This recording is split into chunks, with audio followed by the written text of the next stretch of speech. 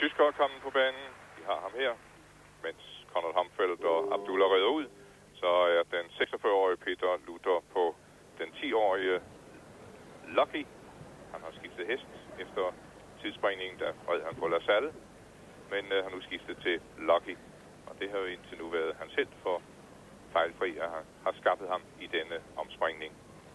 Nummer 37 er han efter tidsspringningen, og må vel derfor, som din Lund siger, være ude af betragtning oppe i toppen. Han er nummer 14 i Europa-ligaen.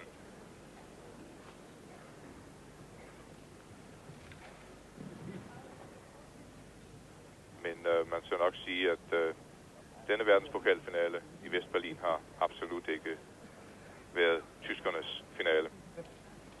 Nej, alene af en eller anden grund, fordi tyskerne har vundet så kolossalt med udendørs, men indendørs har de altså ikke kun klaret sig så godt i finalen her i World Cup i de år, det har været afholdt.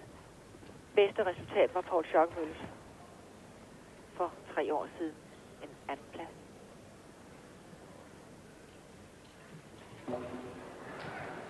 Men tyskerne har dog været betydeligt bedre i dag i går.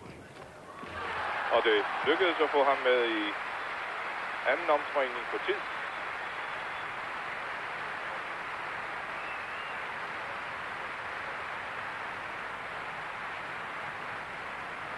Nul punkter. Peter Luther med Lucky. Clear round. Og det er selvfølgelig populært her i Deutschlandhalle. Det er klart. Tauerlens Engelsak. Så ham skal vi nok også spille helt ud.